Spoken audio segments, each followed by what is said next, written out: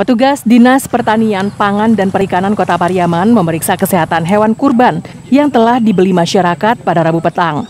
Sapi yang sehat diberi label layak dijadikan hewan kurban.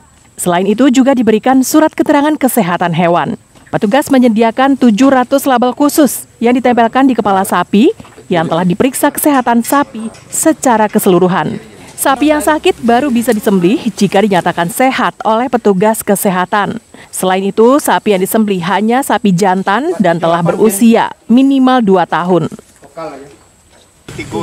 ekor artinya kita periksa dari kecukupan umurnya, eh, kemudian jantan, dan juga dari segi kesehatan eh, hewan ternak ini.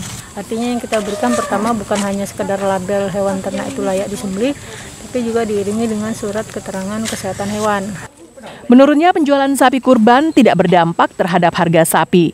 Justru kebalikan, harga sapi lebih mahal dari biasanya. Sebelumnya, sapi untuk kurban dijual 16 juta rupiah per ekor. Kini menjadi 18 juta rupiah. Oh, permintaan sapi korban untuk saat ini memang berkurang pada pada tahun-tahun yang yang lalu. Kalau untuk harga gimana Pak? Harga kalau harga naik kayaknya daripada tahun kemarin. Ada pengaruh dari PMK nggak Pak? Tentang masalah korban ini nggak ada masalah pengaruh dari PMK. Saat ini tercatat 203 ekor sapi yang terdampak PMK. 126 ekor dinyatakan sembuh dan 7 ekor dipotong paksa. Eki Rafki melaporkan dari Pariaman.